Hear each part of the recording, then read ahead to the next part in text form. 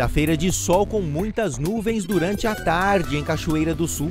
À noite o céu ainda terá muita nebulosidade, mas não chove. A umidade relativa do ar fica entre 44 e 77%, mínima de 19, máxima de 28 graus. Na sexta-feira, o dia será chuvoso durante manhã, tarde e noite. As temperaturas ficam entre 9 e 22 graus. Já no sábado, o dia será de sol com algumas nuvens. Não chove. Mínima de 6, máxima de 14 graus. Confira no mapa como fica o tempo hoje.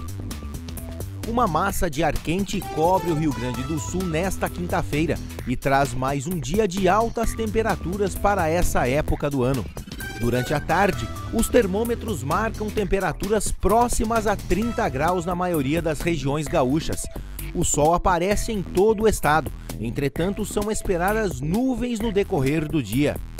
Devido ao calor, não se pode descartar instabilidade muito isolada entre a tarde e a noite de hoje, sobretudo na metade norte. Na capital Porto Alegre, a máxima prevista é de 30 graus. Em Uruguaiana, na fronteira oeste, 26. Em Passo Fundo, no norte do estado, 27 graus. E em Santa Maria, na região central, 30. Para o litoral norte, Tramandaí Torres, 23 graus. E em Pelotas e Rio Grande, no sul do estado, 27.